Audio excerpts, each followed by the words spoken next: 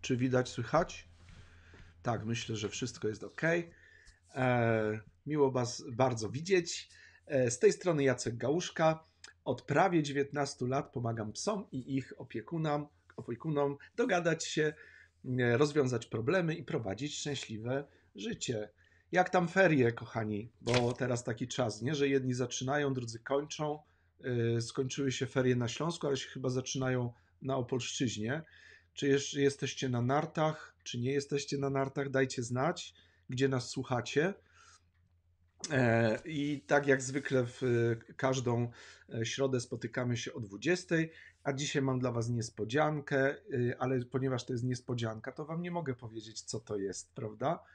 Więc jeszcze raz wszystkich serdecznie witam i będziemy sobie dzisiaj mówić o tym, czy istnieje pies idealny. E, Ja uważam, że dla każdego człowieka, który kocha swojego psa, to jego pies jest idealny, niezależnie od tego, czy jest psem rasowym, czy jest psem nierasowym, czy jest młody, czy jest stary, albo ma trzy łapy. To nieważne. Ważne jest e, to, że jakoś się dogadujemy z nim. E, Dajcie, dajcie proszę znać, e, czy wszystko jest ok. Tak. Koniec ferii u Julii. To ciekawe. Pewnie jesteś Julia z, ze Śląska, skoro koniec ferii. Chyba, że jeszcze gdzieś było. A z bokserami nieustanne ferie.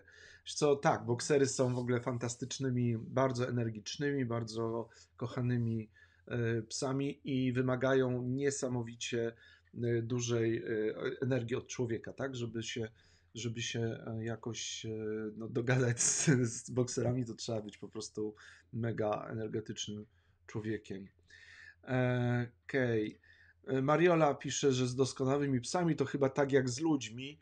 E, Ponoć nie ma ludzi doskonałych, tak? No nie mówimy tu o nas, tak? Bo są wyjątki. Także Mariola, na pewno wiesz, my jesteśmy doskonali, ale co do innych nie mamy tej pewności. I ja.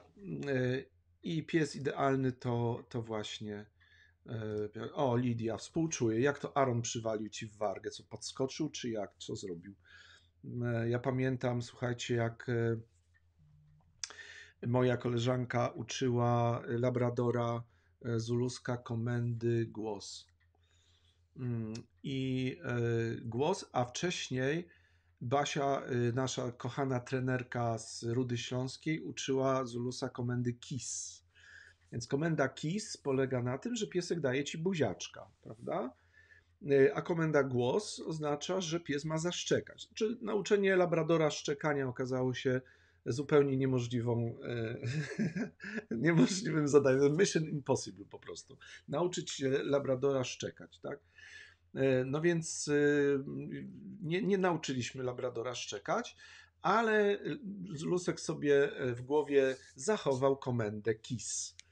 No i kiedyś było tak, że ja chciałem powiedzieć e, właśnie głos, powiedziałem do Zuluska głos, a w tym momencie on podskoczył, żeby mi dać buziaczka i przydzwonił mnie swoją wielką głową prosto w szczękę. Słuchajcie, ja zobaczyłem wszystkie gwiazdy i wtedy przekonałem się po raz kolejny, że dla psów słowa podobne brzmią podobnie, tak? Czyli kiss i głos dla niego były tym samym.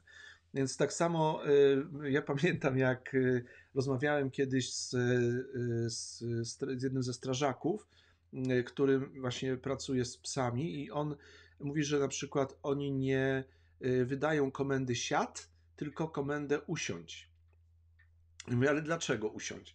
A on mówi, popatrz, bo siad jest bardzo podobny do ślad, a komenda, y, która, y, że tak powiem, rozpoczyna poszukiwanie, znaczy tropienie, tak, u psa y, służbowego jest szukaj ślad. Więc żeby psu się nie myliło siad i ślad, to oni nie mówią właśnie komendy siad, tylko mówią usiądź.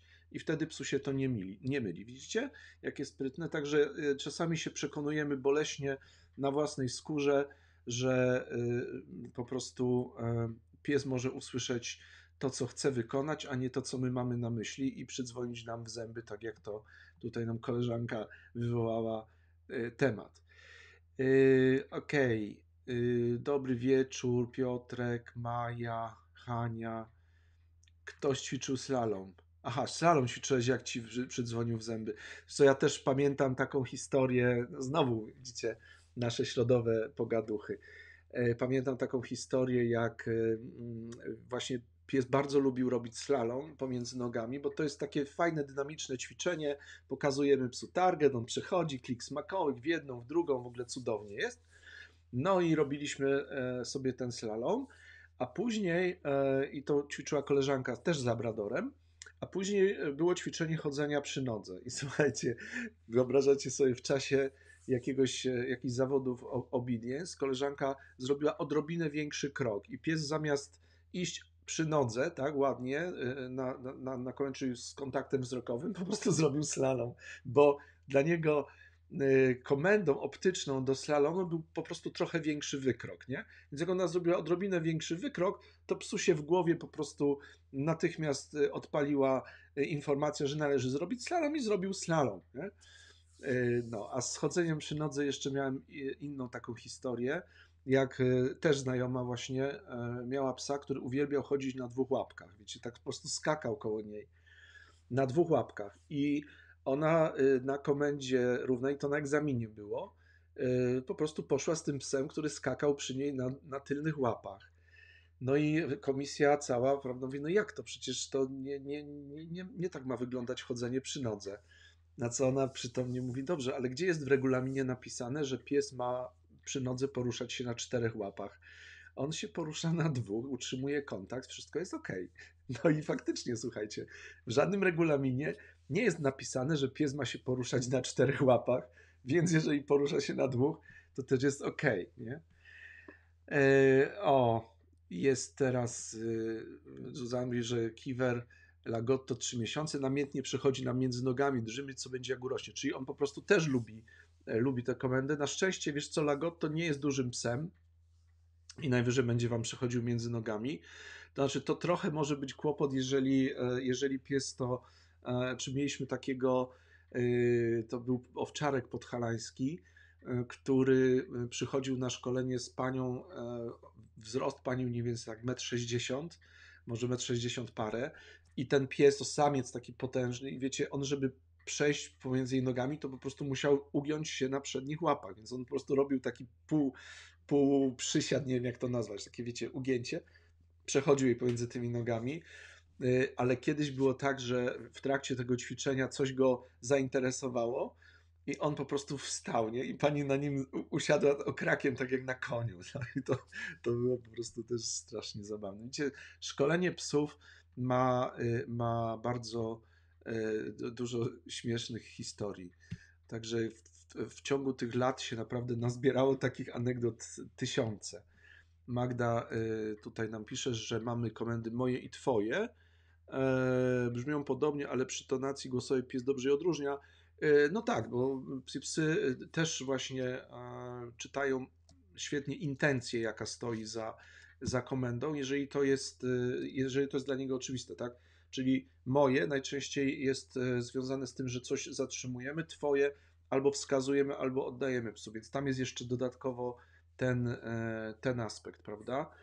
E, e, Magdy Suczka, moja za to marszy czoło, myśli, za chwilę jest czyste szczeknięcie kundelek.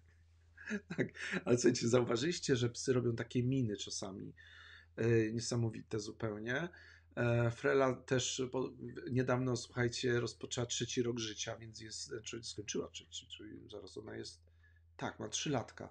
Więc Frela y, nauczyła się teraz gadać. Jak na przykład jest tak, że ja się rano za długo zbieram i ona już ma ochotę wyjść na spacer, a ja jeszcze się gdzieś tam zbieram, dopijam kawę, to ona zaczyna ze mną dyskutować.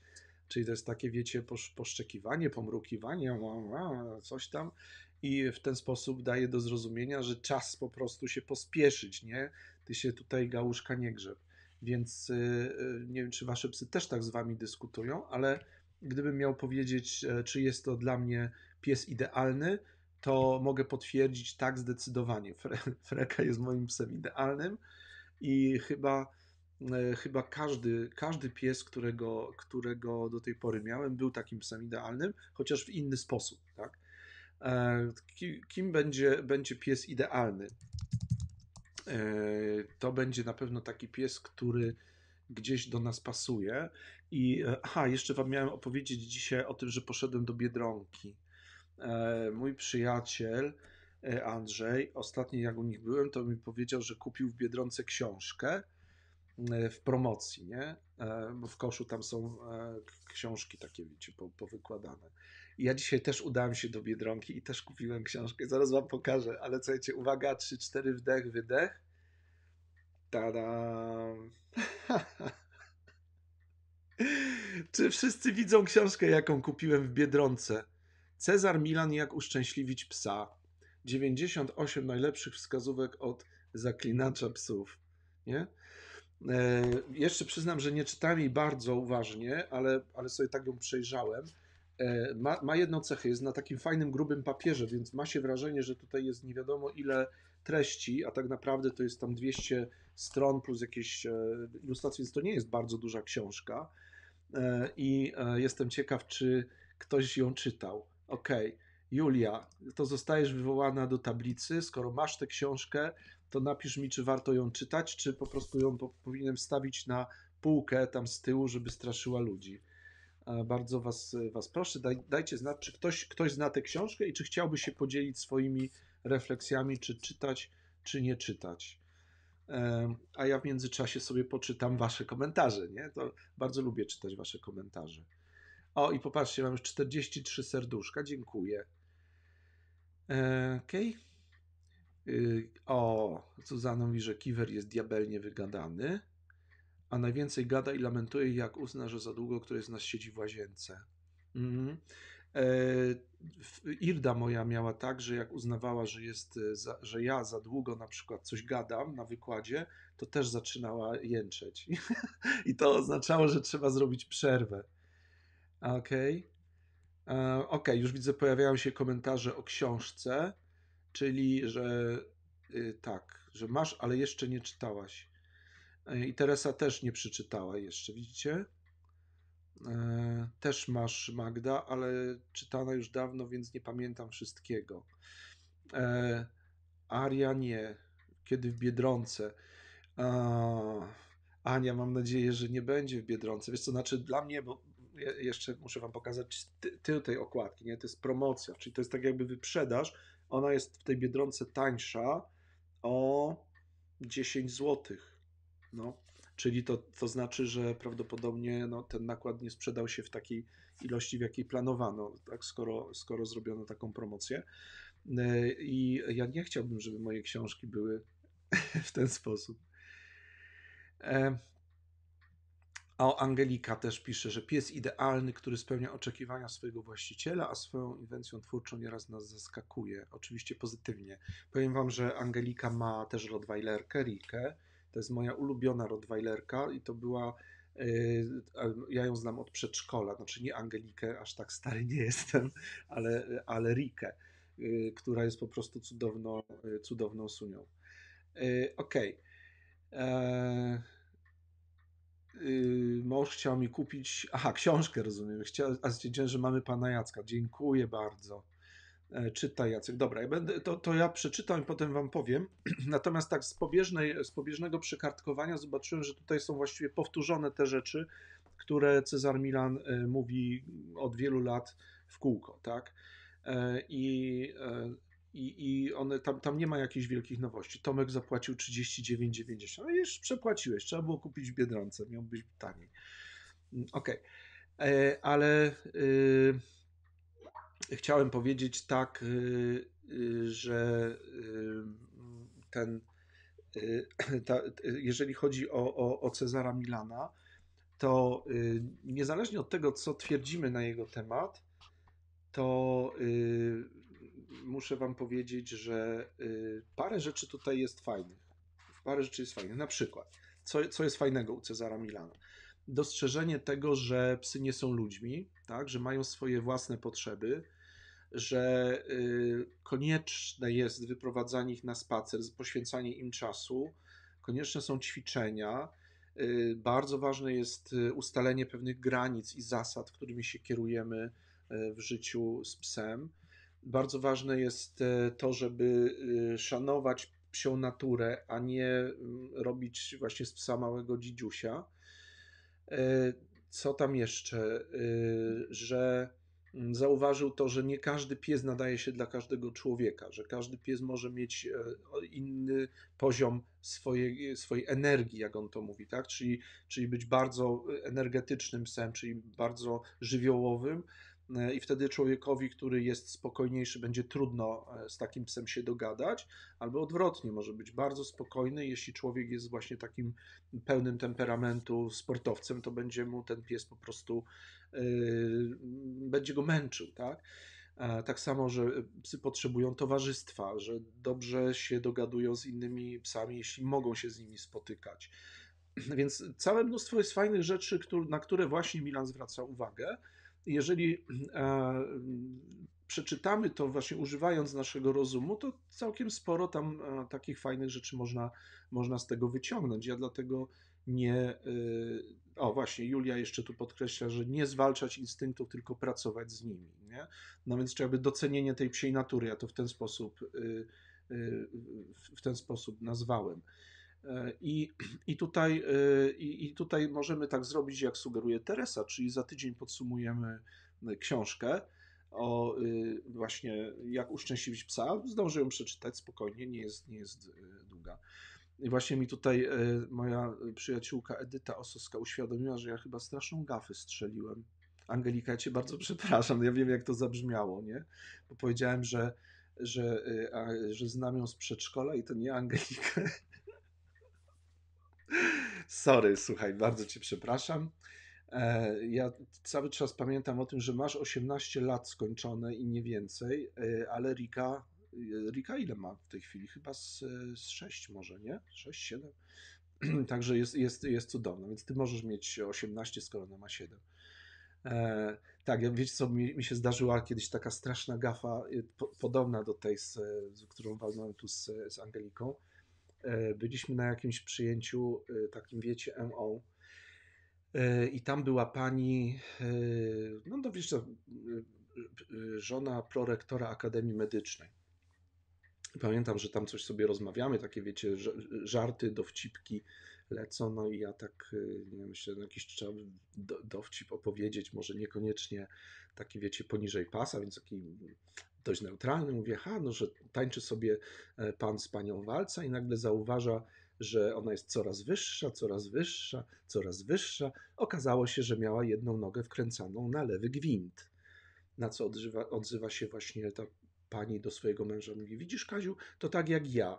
Ona miała endoprotezę stawu biodrowego, więc słuchajcie, nigdy nie wiadomo, e, e, nie wiadomo, czym można po prostu zaskoczyć towarzystwo, nie? Więc tu takie gafy się zdarzają. Bardzo przepraszam. Dobra. E, czy też zaczynasz od nauki ludzi, potem pies? Tak, właśnie to też jest, e, to, to też gdzieś Milan podkreśla, nie? Że, że on nie zajmuje się treningiem psów, tylko on zajmuje się treningiem ludzi dla psów. Nie? I czyli to, to jest jego celem jest praca z ludźmi, którzy mają psy. Ja właściwie mogę powiedzieć dokładnie to samo. Zresztą zawsze to podkreślam na naszych kursach zawodowych, że my nie pracujemy z psami. No chyba, że ktoś pracuje, no ma, nie wiem, e, hotel, fundację, prowadzi taki e, sposób board and train, nie? czyli e, przyjmuje psa do siebie i tam z nim pracuje, no to wtedy pracuje z psem, ale normalnie pracujemy z ludźmi, którzy mają psy i to jest naszym targetem, nie? A więc jak najbardziej. Czy ktoś widział na YouTubie odcinek Cezara z Labradorem Holly? To jest ten e, Labrador, który go tam gryzł, nie? Chyba tak. Znaczy, co ja widziałem, ale nie, nie, nie mam e, jakby nie, nie, nie potrafiłbym się do tego odnieść, po prostu zawsze mogę powiedzieć, ja tak nie robię, nie? Znaczy, powiem wam tak, ja spotkałem Cezara Milana e, w Łodzi, nawet miałem przyjemność pracować w jego zespole i on ma po prostu łapy tak poharatane, że to jest jedna blizna na drugiej, także tam te psy jego ostro gryzą, ale y, on, y, ja podejrzewam, że, że on y, po prostu postępuje w taki sposób, bo, bo, bo to się fajnie sprzedaje w telewizji, nie? czyli po prostu pójście na taką konfrontację z psem, jest czymś, co się fajnie filmuje i potem budzi to duże emocje. Nie? No bo ja właściwie tak sobie uświadomiłem, że jak, jak ja bym chciał pokazać moją pracę z psami, tak, w większości przypadków, zresztą to możecie obejrzeć na YouTube, nie? To to jest tak, idzie sobie pies, coś tam ma jakiś problem, a potem nie ma tego problemu. No i to jest takie nudne, nie? Bo tam się krew nie leje, e, rany jakieś tam, nie wiem, nie powstają. No, no raz mi się tylko zdarzyło, że, że, że pies odgryzł kawałek palca trenerowi na kursie, no ale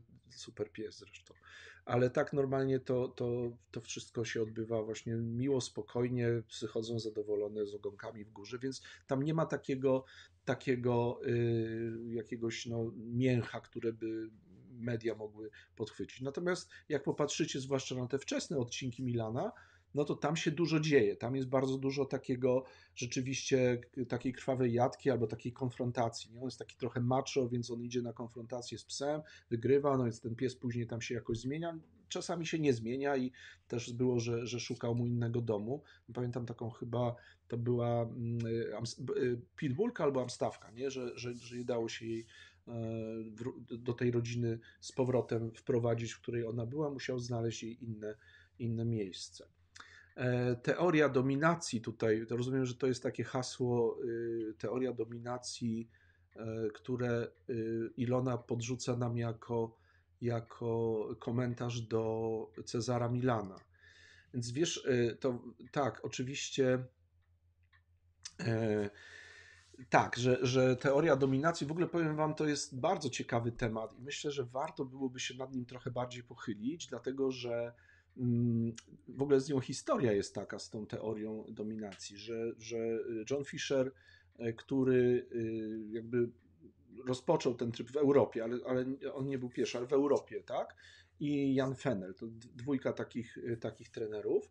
Mm, oni właściwie, y, John Fisher jest prekursorem pozytywnego szkolenia psów. Mówię to z absolutnym przekonaniem. Mam jego wideo, takie nagrane gdzieś w latach 80., gdzie on y, pokazuje swoją pracę z psami i on y, używa jako sygnału nagrody gwizdka. Nie klikera, tylko gwizdka, ale robi to dokładnie tak samo, jak my pracujemy z klikerem.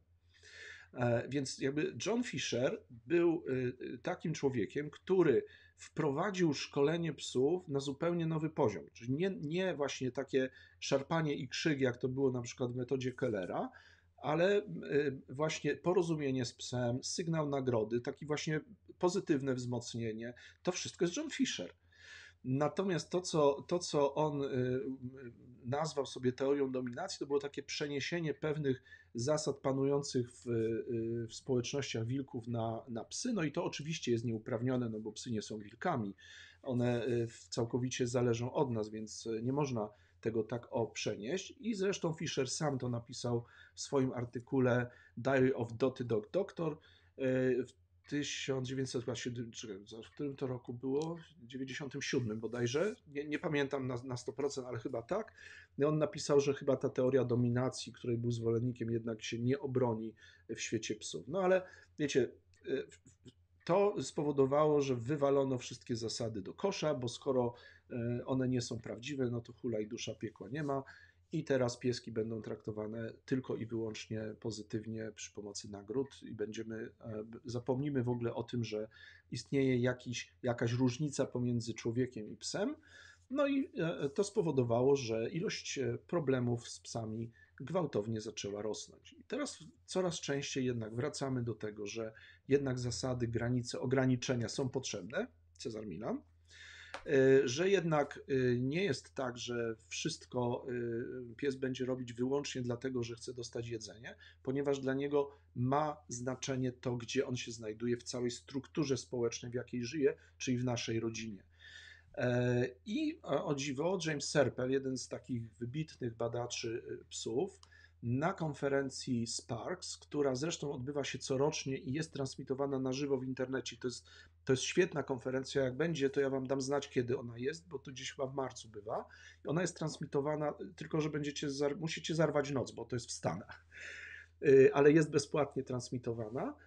E, później też można sobie wykupić dostęp do tego, natomiast jak chcecie na żywo, to, to tak. No i on właśnie w 2000 chyba e, parę lat temu to było, 16 e, czy 17, y, on właśnie miał takie wystąpienie, gdzie mówił o y, tej strukturze hierarchicznej wśród psów i powiedział, że będzie miał raczej takie niezbyt, y, niezbyt dobre słowo dla, dla tych, którzy są e, skoncentrowani tylko i wyłącznie na, na przekonaniu, że psy nie budują żadnej struktury hierarchicznej, bo w świetle przeprowadzonych badań i to opracowanych statystycznie, pokazuje się, że to, że to wilki ze sobą kooperują, natomiast psy tworzą hierarchię dominacji, też linearną hierarchię dominacji, kropka. Nie, nie ma wątpliwości co do tego. A więc dla psa i człowieka istnieją pewne zasoby, które są wspólne, jest to ważne, więc nie możemy po prostu sobie całkowicie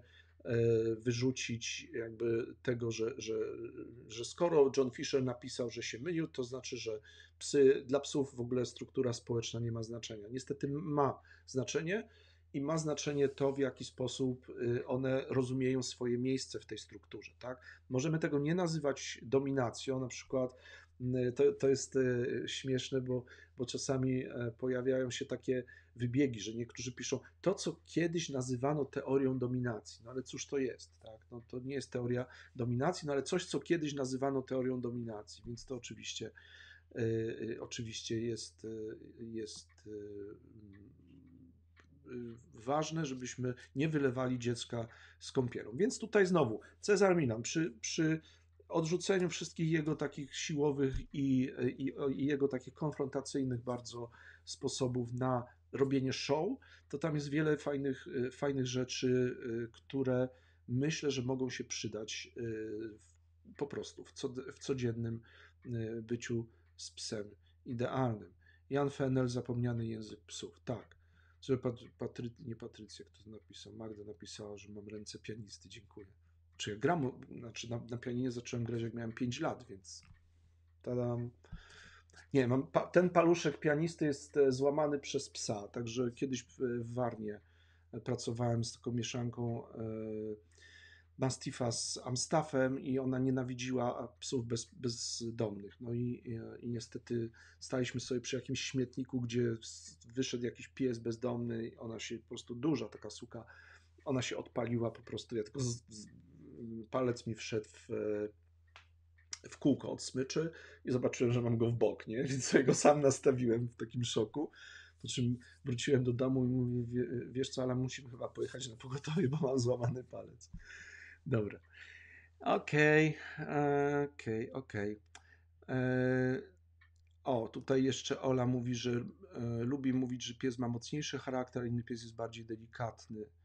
E, jeszcze o typach, że pierwotny to bardziej samodzielny. No, wiesz, znaczy w różny sposób. Znaczy tutaj e, ja myślę, że sobie pogadamy o w ogóle o czymś takim jak, jak, e, jak dominacja, teoria dominacji, hierarchia, bo, bo ludzie utożsamiają często hierarchię z agresją. To nieprawda. No nie, nie ten ma większy autorytet, kto jest bardziej agresywny, tylko jakby autorytet to jest uznawanie, a nie wymuszanie, nie? Czyli y, ten ma autorytet, kto jest uważany za autorytet, a nie ten, kto narzuca go siłą, bo takie despotyczne narzucanie autorytetu szybko się kończy, również w społeczeństwach psów, ale nie tylko, bo i u małp mamy to samo, mamy w różnych, w różnych społeczeństwach zwierzęcych dokładnie to samo.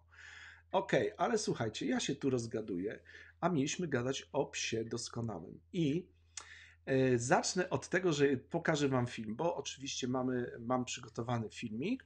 I to będzie film o psie doskonałym, który został nakręcony przez naszego trenera e, Dawida Barona, e, który prowadzi taki kanał Doktorant.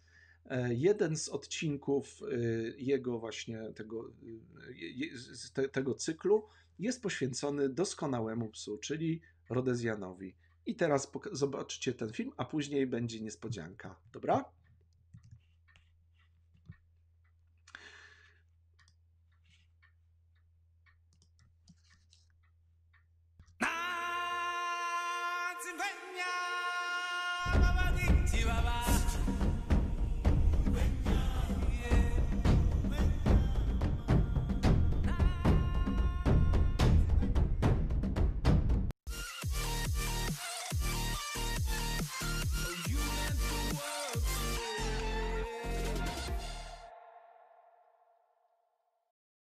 Pochodzenie. Geneza powstania tej dumnej rasy ma miejsce w Afryce. Tam nieustraszone psy z towarzyszyły plemionom Hotentotów w wędrówce przez kontynent. Zachwyceni ich odwagą, przywiązaniem do człowieka i myśliwskimi umiejętnościami, Europejczycy zaczęli krzyżować pierwotne Rodezjany z psami przywiezionymi z Europy. Okazywały się niezastąpione podczas polowań. Potrafiły otoczyć lwa, czyniąc go łatwym celem. Ich wygląd był dość różnorodny w tamtych czasach. Łączyła je jedynie pręga na grzbiecie. Dzisiejszy wizerunek rudego, krótkowłosego psa o zwisających uszach ukształtował się po 1922 roku, gdy powstał wzorzec rasy. Charakter i wychowanie. Ridgeback to pies inteligentny i dość niezależny. Nie będzie w nieskończoność przynosić piłeczki i dopraszać się uwagi człowieka. Nie podda się też siłowemu wychowaniu. W relacjach z nim wymagane są szacunek i łagodne, choć konsekwentne podejście. Posiada dość silny instynkt gończy. Pobiegnie za sarną, wiewiórką czy rowerzystą, dlatego należy zainwestować trochę czasu w szkolenie. Potrzebuje dużo ruchu, dlatego będzie idealnym towarzyszem dla aktywnych ludzi. Jeśli zapewnimy mu odpowiednią dawkę ruchu, w domu zajmie kanapę i raczej nie będzie rozrabiać. Afrykański pies na lwy jest dość nieufny względem obcych, ale całkowicie oddany swojej rodzinie. Nie szczeka bez potrzeby, a wyłącznie wtedy, gdy planuje ostrzec swoje domowe stado przed zagrożeniem. Gdyby na przykład na naszym podwórku pojawił się olbrzymi kot, jest w stanie oddać życie w obronie właściciela. Aktywność i nauka. Rodezjan to pies wymagający bardzo dużej ilości ruchu, dlatego aby utrzymać je w formie, powinniśmy zafundować im sporą dawkę wysiłku fizycznego, na przykład biegania. Ridgeback uczy się chętnie, jeśli stosujemy pozytywne wzmocnienie, a przy rozwiązaniach siłowych łatwo traci zaufanie do człowieka. Towarzyszenie człowiekowi ceni sobie bardzo wysoko, dlatego jeśli zabierzemy go na trening obedience czy agility, to świetnie sobie poradzi. Niezwykle chętnie będzie brać również udział w bardziej aktywnych zajęciach, takich jak pogoń za wabikiem, czyli coursing. Zdrowie i pielęgnacja. Ridgebacki na tle innych ras są dość zdrowe. Do przypadłości typowych dla tej rasy można uznać zatokę skórzastą. Jest to wada rozwojowa, która polega na utworzeniu się kanałów w warstwach skóry. Pojawiają się wzdłuż kręgosłupa i są zazwyczaj wykrywane oraz usuwane przed przekazaniem szczeniaka do nowej rodziny. Psy tej rasy mają dość odporny układ pokarmowy i potrafią zjeść prawie wszystko. Mogą pojawić się alergie, najczęściej atopia. Pomimo iż Rhodesian jest dużą rasą, dysplazja i inne problemy ze stawami nie zdarzają się często. Zwłaszcza jeśli wybieramy szczeniaka z renomowanej hodowli należącej do ZKWP i FCI. Pielęgnacja nie stanowi trudności. Wystarczy przetrzeć psa wilgotną ściereczką, aby zetrzeć kurz po spacerze i w miarę systematycznie wyczesywać. Kąpiel jest potrzebna jedynie w wyjątkowych sytuacjach, jak na przykład wytarzanie się w padlinie. I jak u każdego psa, należy kontrolować długość pazurków i czystość uszu. Podsumowanie. Rhodesian Ridgeback to pies, który łatwo adaptuje się do różnych warunków. Może brać udział w aktywnym życiu rodziny, mieszkać w domu z ogrodem lub mieszkaniu w bloku. Jednak wymaga dużej dawki ruchu i nie lubi spędzać sam całego dnia. Trzeba też pamiętać, że jest dość dużym psem. Nawet suki, które są mniejsze, potrafią ważyć do 40 kg. Warto więc zainwestować w kurs posłuszeństwa i chodzenia na luźnej smyczy, aby uniknąć kontuzji.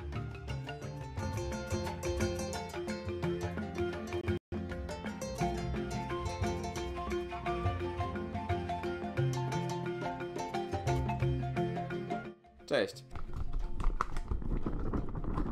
Chciałem Cię zaprosić do polubienia filmu i subskrypcji, jeśli jeszcze tego nie zrobiłeś. A jeśli bardzo podobają Ci się Rodezjany, to zapraszam do lektury Edyty Osowskiej właśnie o tej rasie.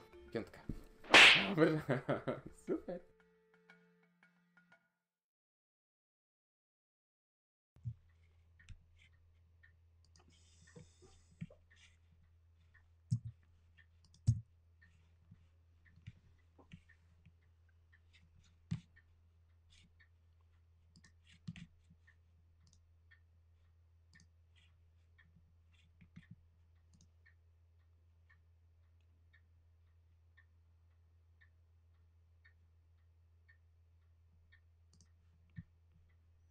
Halo, halo, jesteśmy. E, Okej, okay. czy podobał wam się, czy podobał wam się film o najlepszym psie świata? A ja powiem wam tak, to nie jest przypadek, dlatego że Yy, dlatego, że mamy specjalnego gościa.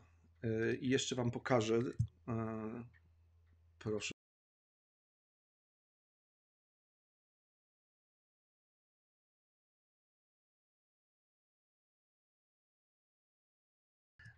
A więc e, za chwilkę postaram się z Edzią zdzwonić i zaprosić ją tutaj do nas na, na żywo.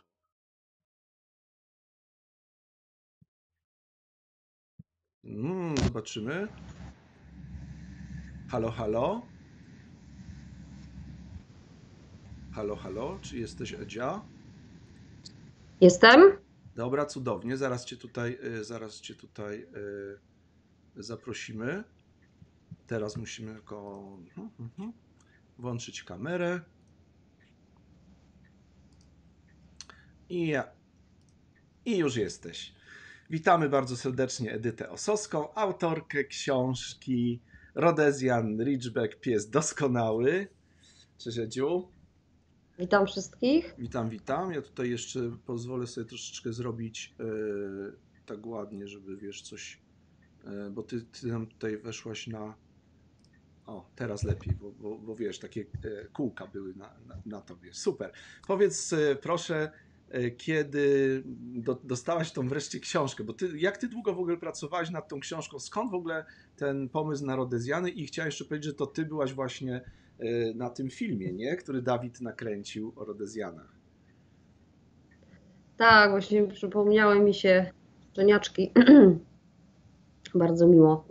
Em, czy mógłbyś uszeregować pytania? Tak, bo mogę. zadałeś kilka różnych. Zadałem, dobra, zadałem w ogóle tak, może ja Cię jeszcze przedstawię, bo e, warto wiedzieć, że Ty jesteś też e, sędziną kynologiczną, nie?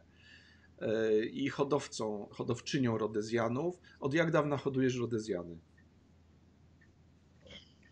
E, a. E, 2001 rok sprowadziłam swojego pierwszego, swoją pierwszą suczkę z Finlandii. E, no to już tak trochę. Okej, Z 15 lat. 20. super. I, a, a dlaczego akurat rodezjany? Skąd ten pomysł? Absolutny przypadek. Chciałam mieć jamnika, ale mój mąż absolutnie nie wyraził zgody. No i tak taką wojnę podjazdową trochę mieliśmy, e, gdzie szliśmy na przykład na spacer i ja mu mówiłam, zobacz jak pięknie, a jakby było jeszcze fajniej, gdyby koło nas biegł taki mały jamnik. Na co Wojtek mówił, na pewno by tak szczekał, że nie usłyszałabyś nic wokół. I tak żeśmy sobie e, toczyli wojnę taką kulturalną, ale w końcu stanęło na tym, że poszliśmy na wystawę obejrzeć właśnie jamniki. E, no ale niestety okazało się, że jamniki były wczoraj, dzisiaj ich nie ma, dzisiaj są inne, inne grupy. E, I wpadliśmy na Rodezjana, na Liczbeka. Mój mąż się zakochał. I nie było już w ogóle dyskusji. Wiadomo było już po tej wystawie, że jeżeli, że je- jeżeli jakiś pies u nas będzie, to tylko Ridgeback. No dobra, Także mam marzenie jamniku pierzchu. dobra. To teraz pytanie, to teraz pytanie, y, ile macie obecnie tych rodezjanów? Nie, nie To do- jest zmienny. W zeszłym roku mieliśmy pięć, w tej chwili mamy trzy, najstarsze dwa nam odeszły, Aha. ale pewnie na wiosnę e, dołączy do nas kolejny. O, czyli zamierzasz powiększyć tą, tą, tą grupkę. Tak, tak. Dobra, Coś, coś zostawimy z naszych dzieci przyszłych. okej. I też e, wiem, że wśród tych rodezjanów jest wesoła łapka. Patka. Tak, najśliczniejsza Sunia, e, moja najukochańsza, gdzieś tu w ogóle leży obok, właśnie się rozłożyła na łóżku. E, Tak, ma imię, imię Wesoła Łapka, ponieważ mioty trzeba nazywać wszystkie dzieci w jednym miocie na tą samą literę. Taka jest zasada. A nam akurat wypadło miot na W, więc została w domu domowo e, Patka, a w rodowodzie ma Wesołą Łapkę. Ja, super. Yy, Dobra, ale to wiesz, to prywatę, prywatą, a teraz ja chciałem Ciebie zapytać o Twoją książkę, bo yy, postanowiłaś napisać książkę o Rodezjanach i powiedz mi, co to jest w ogóle za książka, dla kogo ją pisałaś tak naprawdę? książka wygląda tak, od razu się pochwalę. To, to pokaż ją tak w całości. Y, Wiesz, wyłączyłam Facebook, żeby y, nie mieć dwóch y, pogłosów, więc nie wiem, co widać. Widać, widać. Widać. E, Bardzo ładnie wydana w ogóle, jestem zachwycona, bo nie spodziewałam się, że tak ładnie to wyjdzie. E, Książka się narodziła, pomysł mm, tak naprawdę chyba z powodu właścicieli moich szczeniąt, którzy zawsze, e, ja się staram utrzymywać ze wszystkimi kontakt i zawsze dostaję całą masę pytań o żywienie, o wychowanie, e, a to wiecie, Trzy dni po zabraniu szczeniaka ode mnie pies ciągle sika w domu na przykład. Więc e, no jakby postanowiłam, że jak napiszę to w końcu wszystkie te informacje zbiorę w jednym miejscu, to po prostu nie będą mi ludzie zawracać głowy. Dostaną książkę, powiem gdzie, gdzie można znaleźć odpowiedni rozdział i niech sobie czytają. Natomiast e, w międzyczasie jeszcze się mm, jakby no, moja widza szła do przodu, zrobiłam uprawnienia sędziego, E, Zakochałam się w genetyce, więc e, tak naprawdę ta książka się składa z takich dwóch części. Jedna część jest dla właścicieli, dla opiekunów psów, czyli zawiera to wszystko, co powinien opiekun Rodezjana wiedzieć, co jest potrzebne do codziennego życia, tak jak go wychować, jak się nim opiekować, jak go karmić. I druga część jest dla osób, które planują przygodę hodowlaną albo już rozpoczęły i potrzebują wiadomości. Więc tam jest też sporo informacji dla hodowców. Mhm. Czyli to jest taka książka bardziej dla hodowców, czy bardziej dla miłośników rasy, czy bardziej dla ludzi, którzy szukają idealnego psa? Ja myślę, że ona jest dla wszystkich. Ona jest gruba. Nie trzeba czytać y, całej. Em, Natomiast bardzo często się kończy tak, że mm, jak ktoś kupuje e, Rodezjana, to za jakiś czas zaczyna hodowlę. Mhm. albo mm, tak jakoś się dziwnie składa, że w zasadzie większość osób nie ma jednego Rodezjana, to zawsze jest pierwszy. Więc za jakiś czas pojawia się pomysł na kolejnego i myślę, że mm, no, ta książka też może pomóc nad zapanowaniem nad stadem, bo jednak jeden a dwa to jest spora różnica. No właśnie, bo wiesz, my tutaj też y, rozmawialiśmy przed chwilą, bo po- pokazywałem książkę, którą kupiłem dzisiaj w Biedronce, Cezara Milana, nie wiem czy widziałaś. E, i Widziałam. Rozmawialiśmy tak, i rozmawialiśmy o teorii dominacji, i właśnie ty mówisz tutaj stado. Czy ty też zauważyłaś to, że jednak dla psów ma znaczenie w pewnych sytuacjach, który z nich jest ważniejszy, który ma pierwszeństwo, jak to wszystko się kształtuje, czy to kompletnie nie ma znaczenia? No bo ty masz to właśnie to stado, tą grupę dość sporą, więc jestem ciekaw, jak ty to widzisz. Ym, Znaczy na pewno, na pewno ma znaczenie, jak się psy w tym stadzie zachowują. I mm, bardzo często jeden niestabilny osobnik potrafi e, zachwiać zachowaniem całego stada.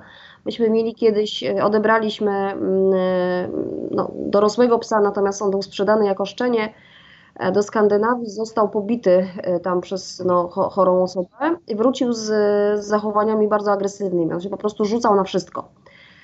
Był bardzo reaktywny, bardzo każdy dźwięk, jakieś pojawienie się na horyzoncie człowieka wywoływało oczywiście podbiegnięcie i szczekanie. Reszta, te, reszta stada nigdy tego nie robiła, natomiast jak pojawił się ten pies, one zaczęły, one zaczęły robić to, co on. I jakby wtedy zauważyłam, że mm, w różnych sytuacjach, jakby, jakby mimo, że hi- hierarchia w domu była troszkę inna, e, żeby jakby była ustalona, było wiadomo, kto tutaj w tym stadzie pilnuje, koryguje, rozpoczyna i jest jakby ważniejszy i uspokaja stado. Natomiast w takich sytuacjach dynamicznych zauważyłam, że mm, potrafi, potrafią inne psy niż przewodnik e, być przewodnikami w danej sytuacji. Czyli jeżeli one rozpoczną jakąś akcję, to one w tej akcji jakby wiodą prym, one mm, przewodzą w tym momencie. Mhm. To nie jest tak, że przewodnik poleci i tylko on ma prawo rozpoczynać, nie wiem, atak, e, dać sygnał do odwrotu, uspokajać stado. Mm, e, Jeżeli tamten, który był ewidentnie jakby tutaj w domowych warunkach na końcu hierarchii, rozpoczął jakąś akcję, całe stado leciało za nim. Czyli tak był, naprawdę był takim, był Trudność Mhm. Był takim po prostu, wiesz, sygnalizatorem, tak? Sygnalistą, że rob- robimy coś, a reszta jakby podążała za tym, tak? Tak, tak. Myśmy się, myśmy się, znaczy ja dopiero odczułam, jak bardzo to było stresujące, gdy ten pies odszedł.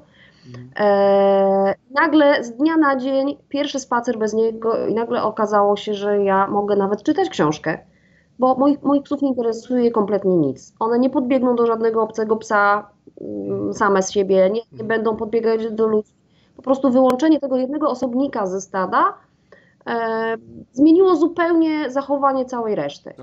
Ale widzę, tak, widzę też, że em, y, te, te, ta hierarchia też jest taka troszkę płynna w momentach.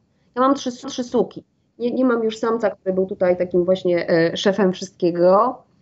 E, Natomiast ta hierarchia u nas się zmienia w, w, w cyklach rozrodczych. Mhm. W momencie, kiedy jedna suka ma cieczkę, ona się nagle wdrapuje na szczyt drabiny i po prostu rządzi.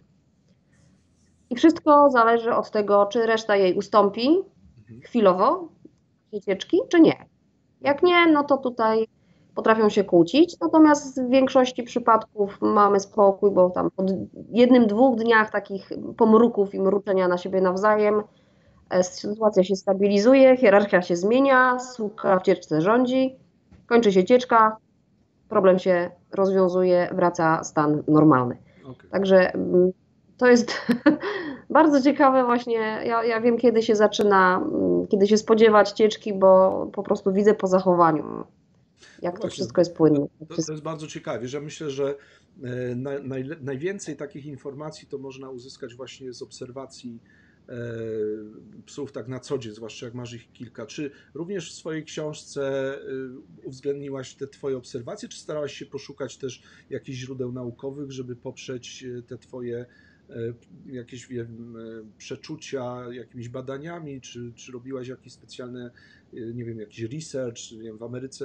Boże, w Afryce Południowej, czy, czy gdzieś właśnie, gdzie, gdzie one tam Mhm. powstały. Em, Znaczy, takich jakichś specjalnych badań nie, nie, nie robiłam, natomiast e, miałam to szczęście, że przeprowadziła się tutaj do Polski hodowczyni z Afryki, O. która e, no, do tej pory mieszkała tam i dużo żeśmy rozmawiały właśnie na ten temat i ona trochę zmieniła moje spojrzenie, bo mm, zawsze mi się wydawało, że wiecie, taki ostrzejszy pies, który wyskakuje, jak ktoś podchodzi do ogrodzenia, nie da się dotknąć, jest taki mm, no, ostry, tak mówimy o takim się ostry, że to jednak dla mnie jest za ostre, że tutaj w takim, że tak powiem, w cywilizowanej Europie my oczekujemy czegoś innego. Ten pies ma być towarzyszem, ale nie może też stanowić zagrożenia dla innych ludzi, do, dla sąsiadów, dla ludzi spotkanych na spacerach. E, Natomiast ona mi uświadomiła to, że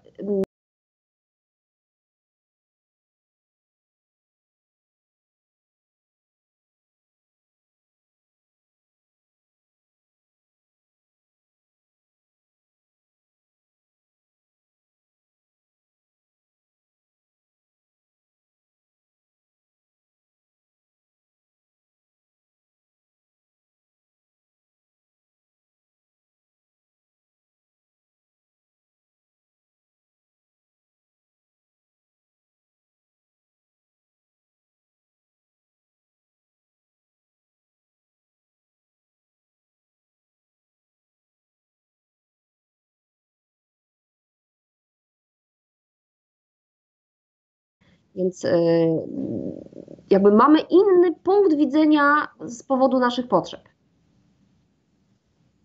I te cechy, które, których ja nie, nie lubię, oni po Mhm. prostu e, innych nie chcą. Mhm. To było Czyli, dla mnie czyli, bardzo, czyli bardzo prostu zdaje się, tutaj ciekawe. y, piszą nam e, uczestnicy, że nie, nie było głosu, czyli nie wiem, czy słyszeliście to, jak, jak Edyta mówiła o tym, co się dzieje w Afryce Południowej, że właśnie tam e, pies, który jest, y, który dla nas byłby traktowany jako zbyt ostry, tak, jest właściwie ob- obrońcą dla ludzi, którzy mogą być napadani przez, e, przez Afrykanerów, tak, którzy palą farmy albo tam właśnie napadają e, ludzi, tak. E, Mm. no, i, i co? I ta Tak. hodowczyni się przeniosła do Polski w tej chwili, tak? Em, tak, tak. No ona już hodować nie będzie, bo nie, przeniosła się z, za mężem Polakiem. Mhm. E, on niestety zmarł, więc e, długo, no ale zostanie, zostanie. Mówi, że no, nie wróci do Afryki, bo nie, nie widzi tam przyszłości e, dla siebie, natomiast e, psy dwa, które przywiozła ze sobą, e, mieszka niedaleko, więc się odwiedzamy, no robią wrażenie. Że nikt tam, e, wiecie, do, nie podejdzie do ogrodzenia nawet. Mhm. Także Czyli popatrz, to, jak się wejdzie i się z nimi zaprzyjaźni, to to są e, absolutnie cudowne pieszczochy. E, Problem jest, żeby je z kolan zgonić. e, Lubią się przytulać, są absolutnie słodkie, ale jak kogoś poznają. Natomiast dla obcych, no, Mhm. jest troszkę, troszkę miałam za pierwszym razem ciarki na plecach. Widzisz, ale to fajnie, że, o tym- e, fajnie, że o tym mówisz, dlatego że, że mówiliśmy pies idealny, bo temat jest taki, czy istnieje pies idealny, troszkę w nawiązaniu do tytułu Twojej książki.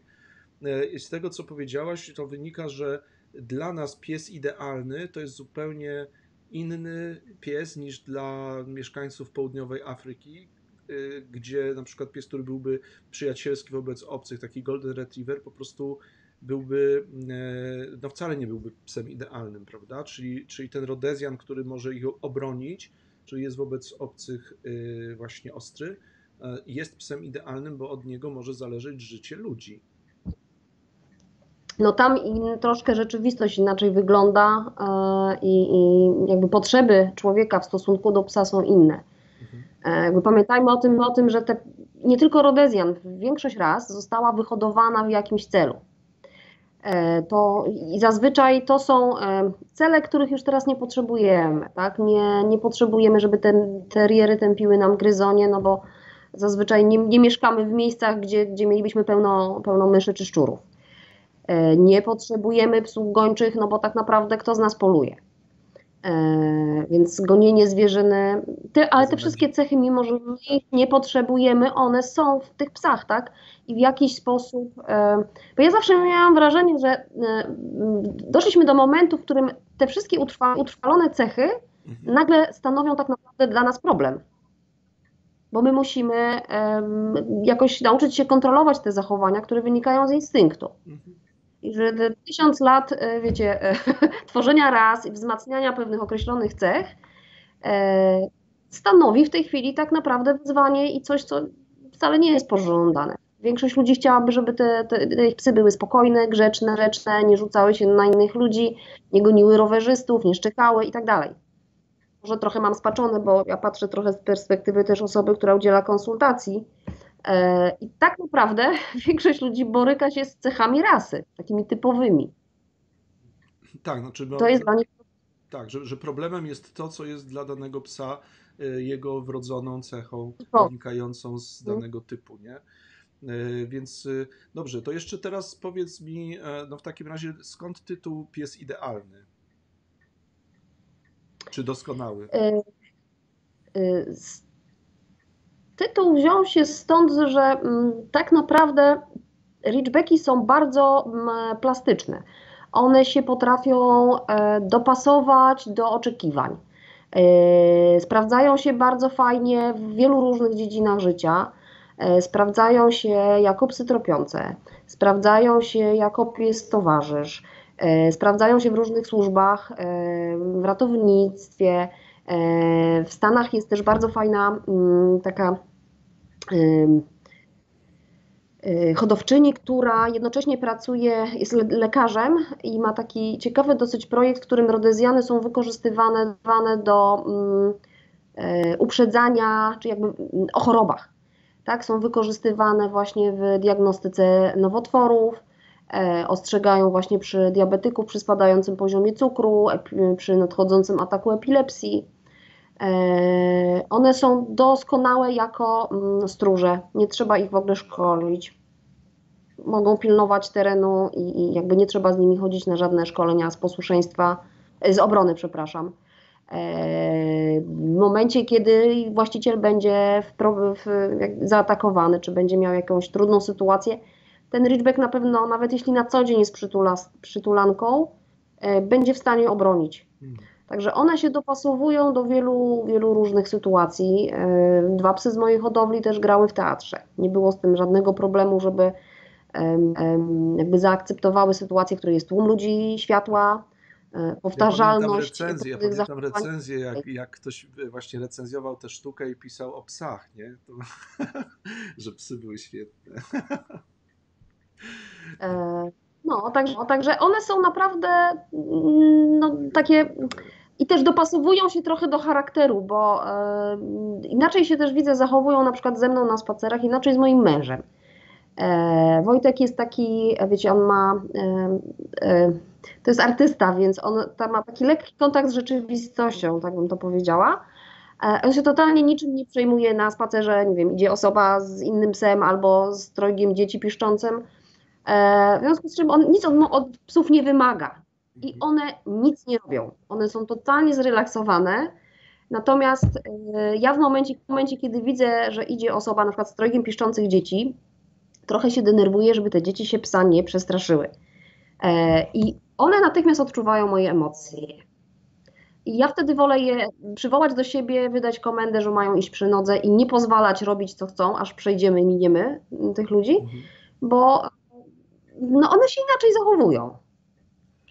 Więc też jakby widzę, e, jak ja wychodzę na spacer i ja jestem bardziej aktywna, to jest szaleństwo. Jak wychodzi z nimi Woj- i Wojtek, one są kompletnie nie biegają, to jest taki, wiecie, spacer emerycki. Mhm. Czyli po prostu mam- one się dostosowują e, do, do człwieka, tak? one się plastycznie. dostosowują do człowieka, do, do jego nastroju, do jego oczekiwań.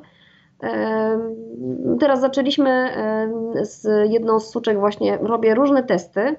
E, Chodziliśmy na noswork, chodziliśmy na taniec z psem i tak mm, wydawało mi się, że to są dwie różne aktywności I, szukałam takiej, w której ona się będzie najfajniej sprawdzała, ale jej pasuje wszystko. Mhm. I, i się śmieję, że nie możemy się zdecydować, co dalej robić, ale one się dopasowują. To jest właśnie dla mnie fajne, że mm, Czyli są no to jest dla mnie idealne. Czyli, rozumiem, czyli po prostu są bardzo wszechstronne, dobrze sobie radzą i w obronie, i w tropieniu, i w tańcu z psem, i w y, siedzeniu na kanapie, i w, Y, w życiu rodzinnym. kanapy, to wiecie, tak różnie bywa, natomiast jeśli zjeść. się wcześniej biegają, to tak, ale mam, mam właśnie w książce zdjęcia, przykłady różnych aktywności. Właśnie i obedience i takie sporty, których u nas może nie ma, ale na przykład pies w zaprzęgu z rowerem albo z nartami. Obrona, agility. I na tych wszystkich, tych wszystkich sportach one się czują fajnie. Super. Edzia, wiesz co, to Da, dają radę. y, super. Teraz już rozumiem, dlaczego y, Rodezjan jest psem doskonałym.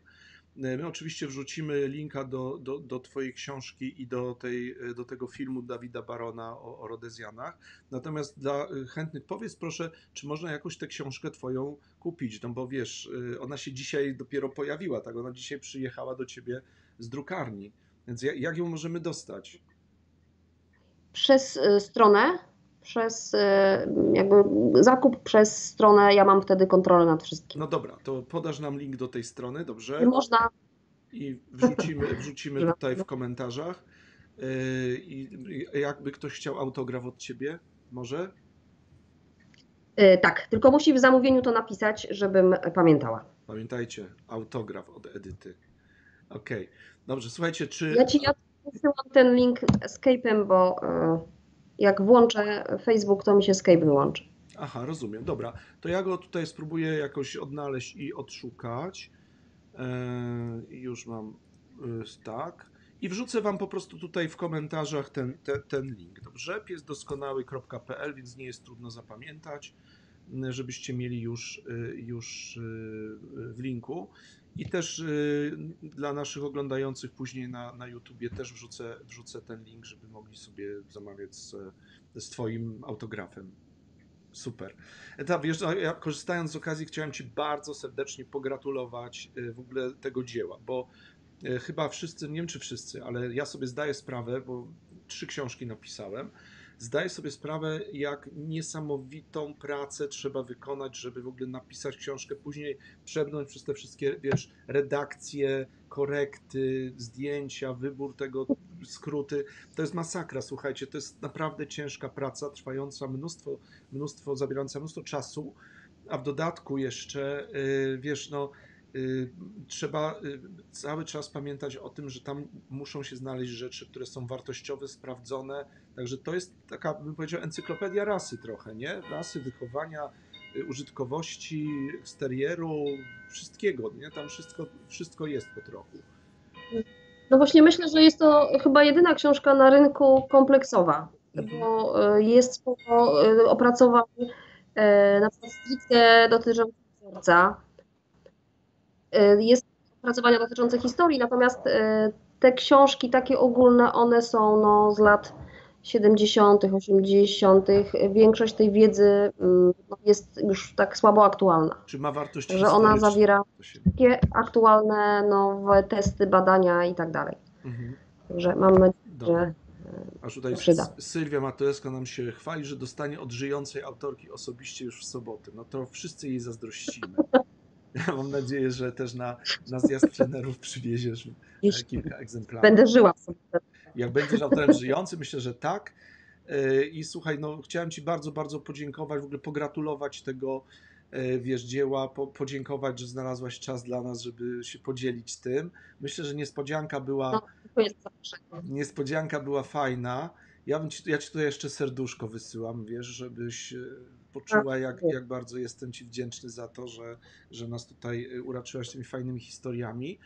E, I cóż, kochani, bardzo serdecznie Wam e, dziękuję za obecność. Chciałem się z Wami pożegnać do następnego razu, czyli za tydzień w środę znowu się jak zwykle widzimy. A tymczasem życzę Wam dobrej nocy, miłego wieczoru. Trzymajcie się, pa, do usłyszenia, do zobaczenia. Pa, pa.